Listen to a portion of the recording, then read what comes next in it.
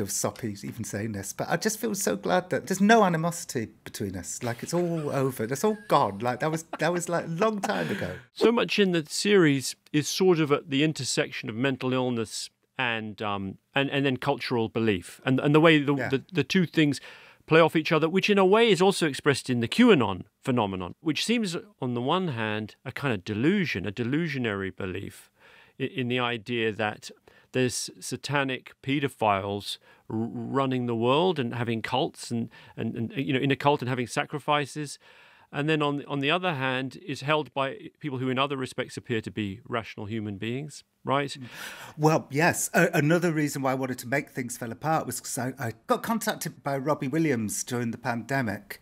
And he was like, I'm sure he won't mind me saying this because he said it publicly too.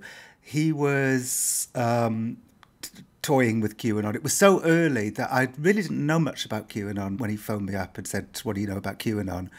He said he's he doesn't know whether to believe in it or not. He said the thing that's stopping him from believing in it is because some people think that he is part of the satanic child sacrificing cabal, and he knows that's not true. He said to me, uh, he said, I know it's not true about me, so that's giving me pause about the rest of it, but I still don't know that it's not true. So I became curious because Robbie called me. So I, I, I spoke to a woman who runs a support group for people who've lost loved ones to QAnon. And she said two things to me that were extraordinary and really were another factor for me wanting to make this series.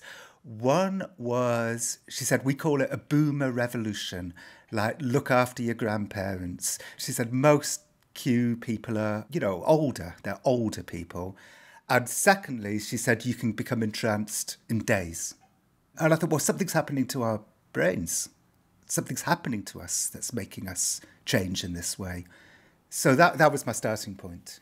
what did you say to robbie by the way did, Uh, I, did you sort of say oh, come on man get a grip well, what I said to Robbie was, if we're going to do this, then I'm obviously going to be the Scully to your Mulder.